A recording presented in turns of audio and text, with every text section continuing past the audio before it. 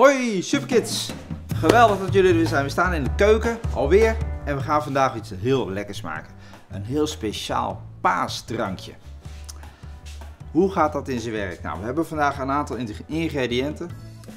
Onder andere chocolademelk, vla, gewoon echte vanillevla, slagroom, wat pretzels, een echte lange vinger, twee stuks hebben we er nodig en rozijntjes.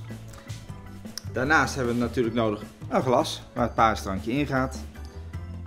En dan gaan we beginnen. We beginnen met de vla. Doe de top eraf en we gieten tot de helft aan de vla.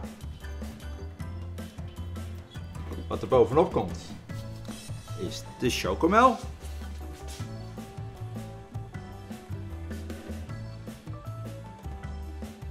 Je geen vla meer ziet vanaf de bovenkant. Dan gaan we een aantal pretzels pakken. We pakken vier pretzels, dat worden de snorharen.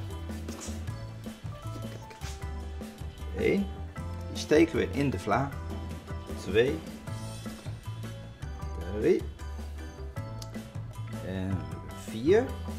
Heel mooi.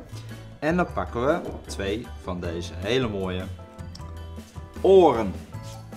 Die gaan we erin doen. Dit worden de oortjes.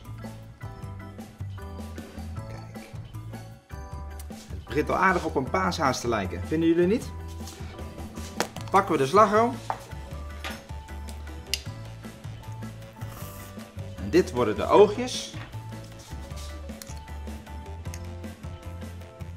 Dat is één oogje. En dat wordt twee ogen.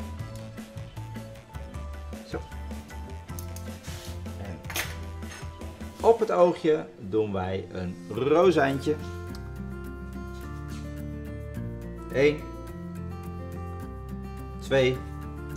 En nog een rozijntje voor het mondje. En tada!